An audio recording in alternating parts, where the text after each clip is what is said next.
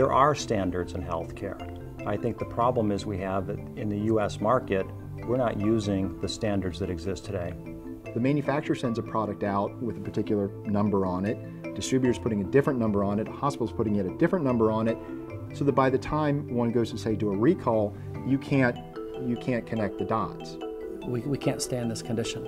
Uh, America can't uh, afford it. The cost of healthcare as it is now, and this is our portion of responsibility that we have to do this. I would challenge everybody that works in the supply chain and in healthcare industry to find it unacceptable not to understand this problem. We have a problem in healthcare today, and it affects the entire supply chain, beginning with the manufacturers, to the distributors, to the group purchasing organizations, and then to the providers.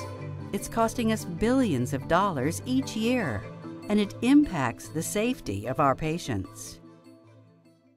It's interesting, I think, that we have gotten as far as we have, particularly in the medical device world, um, and we don't have uh, good identification standards. We cannot unambiguously identify devices.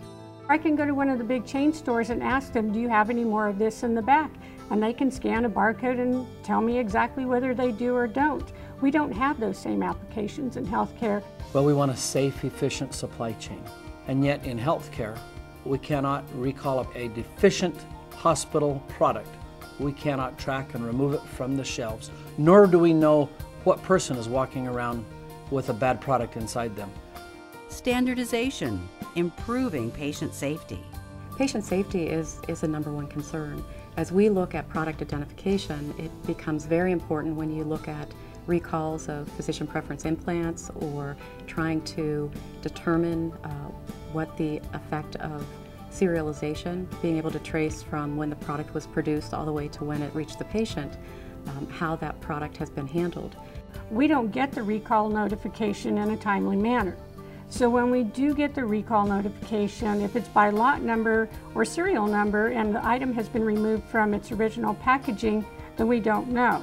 So we're losing out on a lot of information. So by having some kind of a barcode standard or some kind of information on each package, it's going to be extremely important, especially for those items that can cause patient harm uh, when it comes to a recall. Standardization, decreasing costs.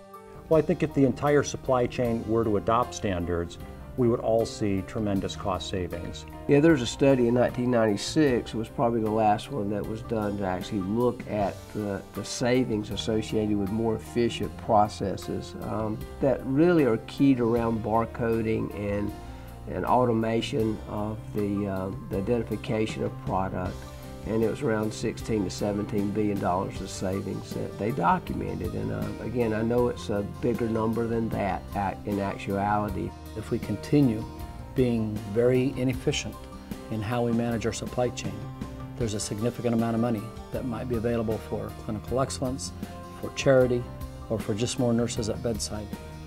Change is coming.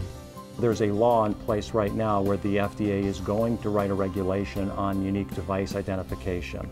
The legislation has passed and the agency is in the process of writing, implementing regulations right now, which will, in essence, require most or all medical devices to have a unique identifier, an unambiguous standardized identifier at every level of packaging and for that information to be used throughout the supply chain and for the meaning of that identifier to also be made publicly available.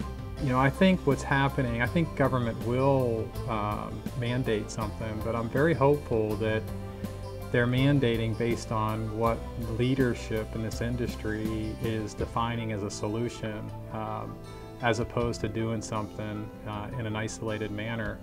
If you leave it up to government, they will do things that make it easy on them and give them the information they need which may not help the clinician or may not help the individual supply chain partners in the industry to achieve their efficiencies or their, their desired goals.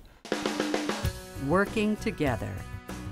I'm very optimistic. I think that we now have all of the stakeholders involved in the GS1 US initiative, and this is the, the best opportunity that we have.